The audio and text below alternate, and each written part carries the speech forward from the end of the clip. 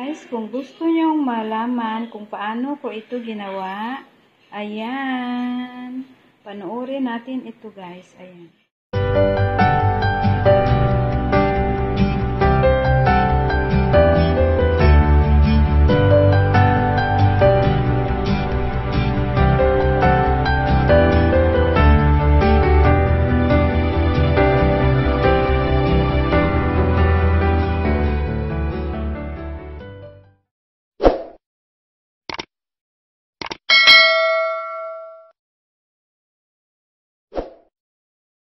Lulutuin natin ngayon guys, roasted pork noodles.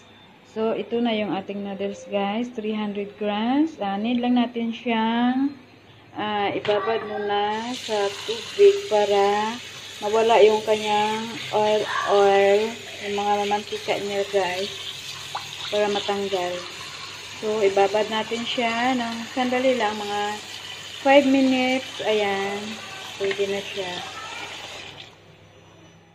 Ito yung ating ingredients guys. Uh, 200 grams na shallots at saka itong garlic 100 grams. Uh, one stalk ng spring spring onion. Ito lang yung gagamitin natin guys. Ito lang siya.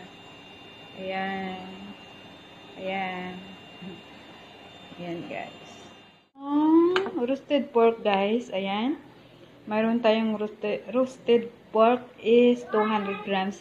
Um, i-cut lang natin siya guys ng pa-stripe ng konti kasi malalaki ito.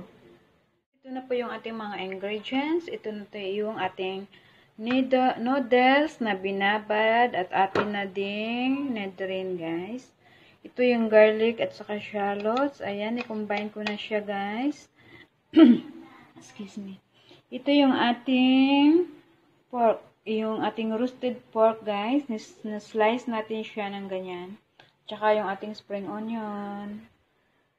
Ating ingredients guys, uh, ingredient, ingredients. Ito yung lard oil, ayan. Pork, ah, sorry, sorry. Pork oil guys, ayan. At saka yung ating sugar, ating soya sauce, at saka water. Ito naman guys, yung ating seasoning. Ayan. Light soy sauce again. And then, yung ating thick sauce or dark sauce. At saka, black pepper at sugar. Start na tayo magluto guys.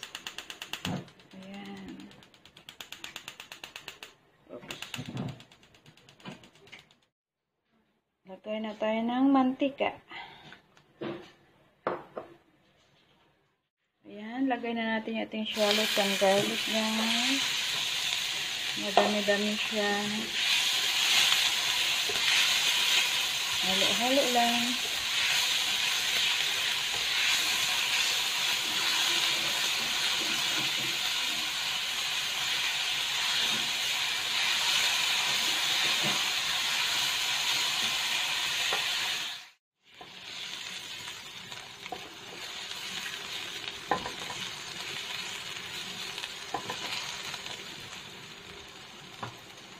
Ayan guys, dagdag na natin yung ating uh, ano ba yan?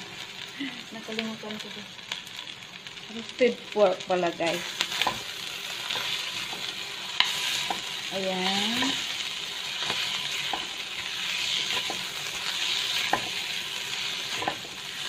Ihalo lang siya na mabuti guys.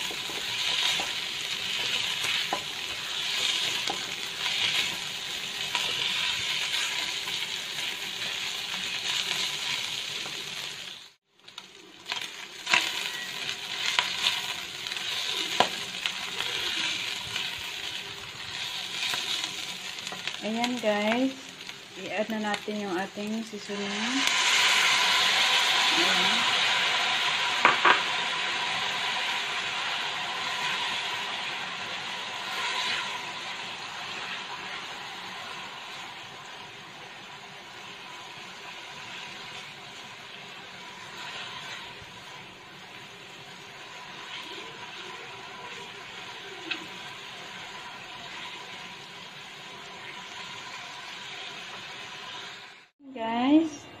Tinabi muna natin yung ating roasted pork. At ating ilagay na itong noodles natin. Ayan. Halo lang muna guys.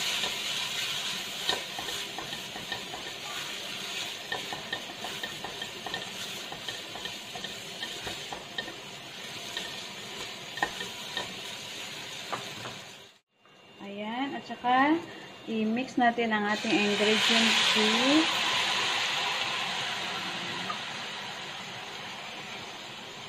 Halo nating mabuti.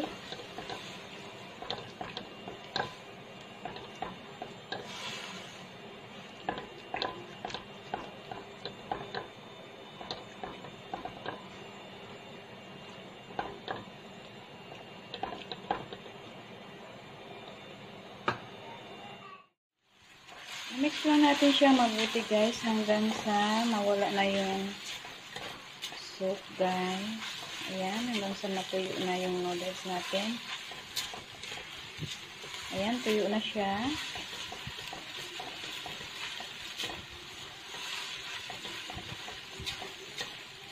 Okay. It's done. Ayan na siya guys. Ayan. Tapos yung ating ginawang pork kanina, ilalagay lang natin siya sa top niya. Bali, gawin natin toppings. Ayan. Wow. Guys, wala mo ng diet ngayon. Ayan siya. And then, sprinkle lang natin yung onions. Ayan.